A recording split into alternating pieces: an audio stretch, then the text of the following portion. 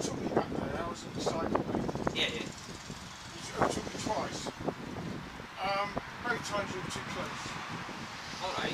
Okay. Uh, um, that's alright. Yeah, I, know it's not... Uh, I know, so I've seen you, but uh, very late. Little bit. Little bit late. But you're back behind me. When I'm overtaking you, I'll be waiting up as well, sorry for that. You? Well, the thing is that the cycle lanes actually too narrow. They, I know, I know. Yeah, yeah. They should be 1.5 meters. That's true, yeah, yeah. Actually going to take these out. yeah, yeah. So they spend all that money putting them in. They're going to spend all the money taking them out. They're not fit for purpose. I know that's true because you, that they that is the road is the same. They make like a model because your buses you, when the bus goes through like that, it's very tight. Uh, we are very very tight. Yeah. if it's a cycle on there, That's right. very But- dangerous.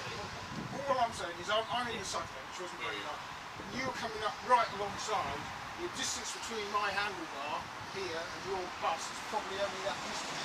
Really, That's a bit oh, too sorry. close. Very sorry. Okay. No problem.